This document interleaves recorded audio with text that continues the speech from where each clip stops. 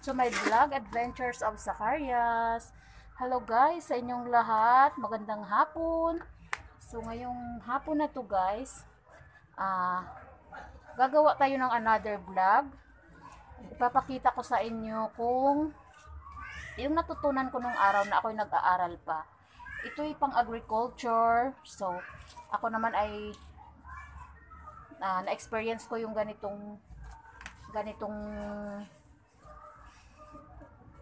ginagawa nung nag-aaral pa ako. So, kasi project namin to nung araw.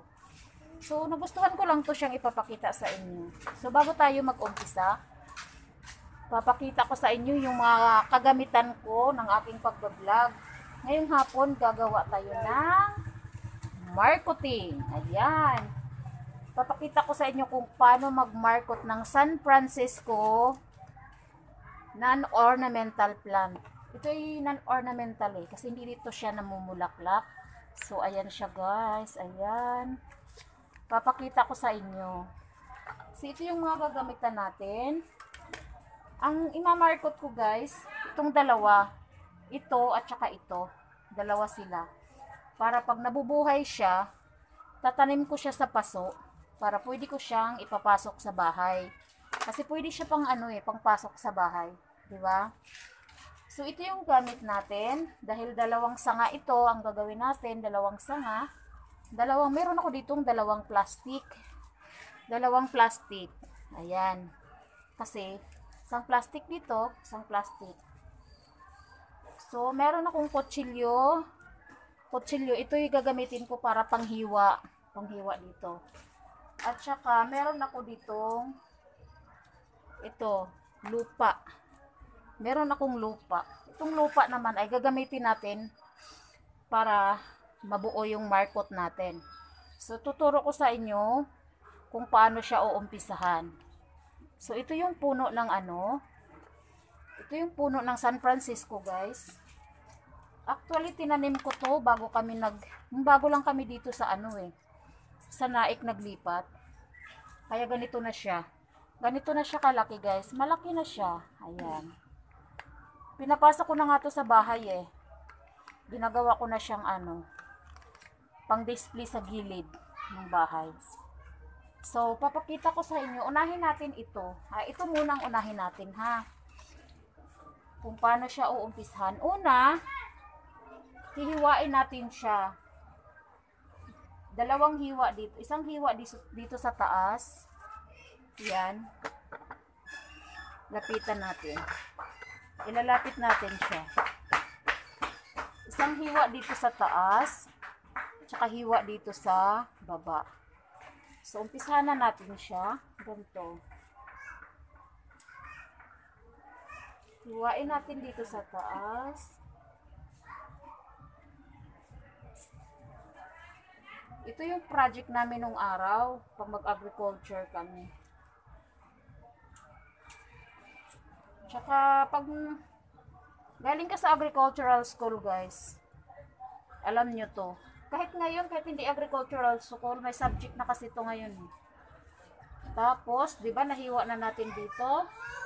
So, tapos na natin nahiwa dito, na part, at saka dito. Diyan. Nahiwa na natin dito, at saka dito. So, ang gagawin natin, hiwain natin siya sa center. Dito sa gitna ng katawan niya. Ayan. Gitna. Hiwain natin siya dito, guys. Ayan. Ayan, ah. Kita nyo ba? Ayan. So, nahiwa na siya. Tatanggalin natin yung balat. At tapos ko na siyang nahiwa, tatanggalin natin yung balat. Pagkatanggal sa balat, ayan guys, tanggal na siya. Ayan, oh, madali na siyang tatanggalin kasi nahiwa na siya eh. Ito yung tinanggal kong balat ng halaman. Yan siya guys, ito. So, ito na yung tinanggalan ko ng balat. Pagkatanggal ng balat, di ba malinis na, wala na siyang balat, putol na siya. Wala na siyang balat, na putol na siya. Ang gagawin natin, kiskisan. tatanggalan natin siya ng ano, kasi parang may tubig siya eh. Tanggalan natin siya ng patas. Yan, ito siya guys. Yan. Ayan, tinanggalan ko na siya ng katas. So, yan. Oo. Ayan na siya guys. So, malinis na malinis na siya. Ayan. Tanggal na natin si balat. Nalinis na natin siya. Malinis na. Ayan, malinis na talaga siya, oh. Diba? Malinis na siya. So, ang gagawin natin ngayon, lalagyan natin ng, lalagyan natin siya ng lupa. Kuha tayo ng lupa.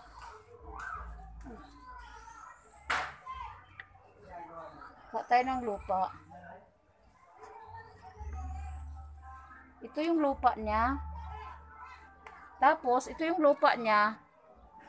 Ilalagay natin dito sa pinagtanggalan natin ng balat. Ganyan siya guys, oh.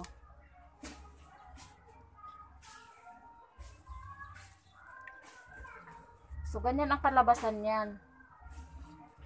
Kailangan, kailangan yung natanggalan ng balat, mababalot siya ng lupa. Ayan. Yan, mababalot siya ng lupa. So, ganyan niya ang nangyari, guys. Ayan. Ayan na siya. Pagkatapos natin ilagay yung lupa, dito na natin gagamitin yung plastic. Ito yung plastic na pambalot. Yan. Ibabalot natin siya ng plastic. Ganto. So, ganyan. Sikipan natin. Tapos, yan. Kailangan masikip siya.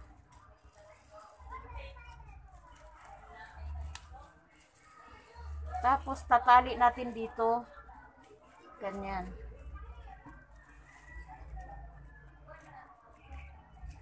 Tatali natin siya ng dito sa dulo-dulo. Tatali natin.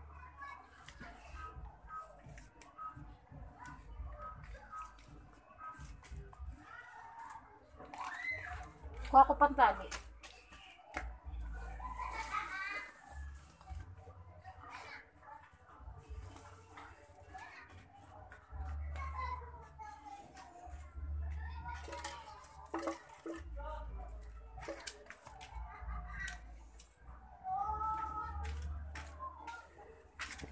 Ito yung pantali ko. Maliit lang siya.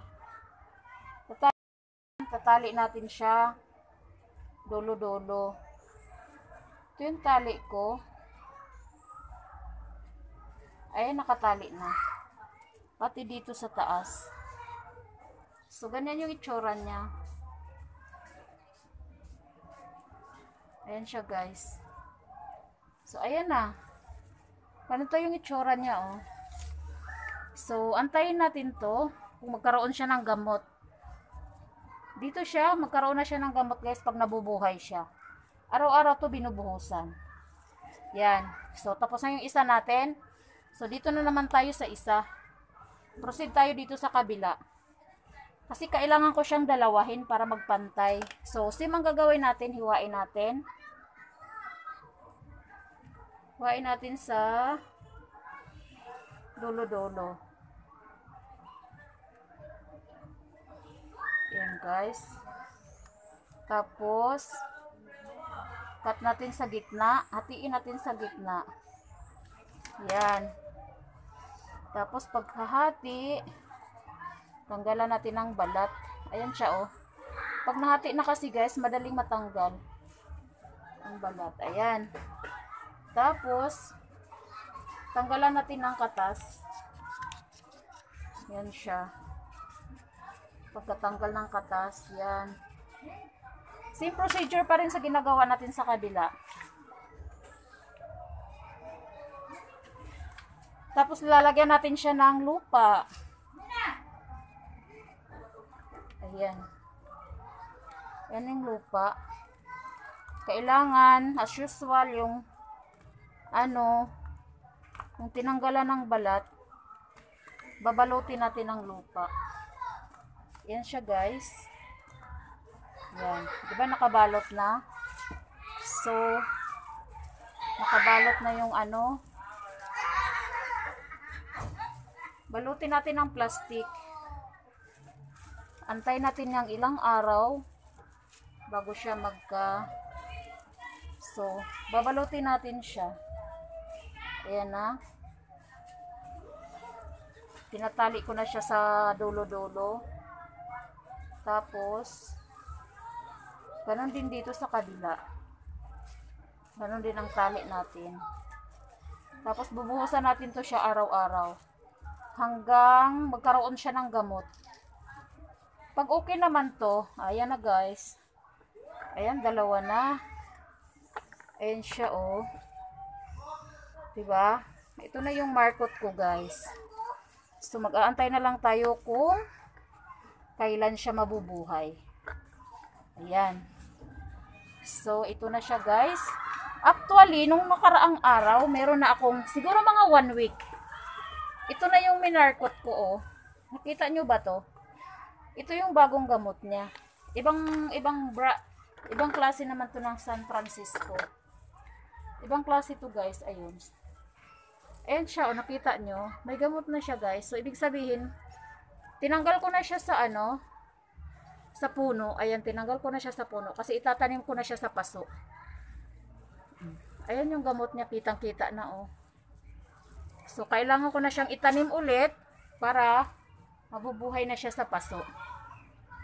So, ayan. Hindi na to siya, ang purpose nitong markot, hindi siya lalaki ng, hindi siya tataas ng mahaba. Ano lang, hindi siya masyadong mataas. Tatubo lang siya, ano lang, hindi masyadong mataas. So, ayan guys. Ito yung, hindi ko to na-vlog nung nakaraan. Kaya pinapakita ko na lang dito kung paano siya mag-markot. Oh. Yan, yan na siya guys. Antayin na lang natin. Next, ano, papakita ko sa inyo kung nabubuhay na siya ha. So, ayan, tapos na yung ating vlog. Hanggang dito na lang. Thank you for watching sa aking vlog, How to Market San Francisco Plants. So, hanggang dito na lang guys. Salamat sa panonood. At hanggang sa susunod na vlog guys. Thank you for watching. Bye-bye.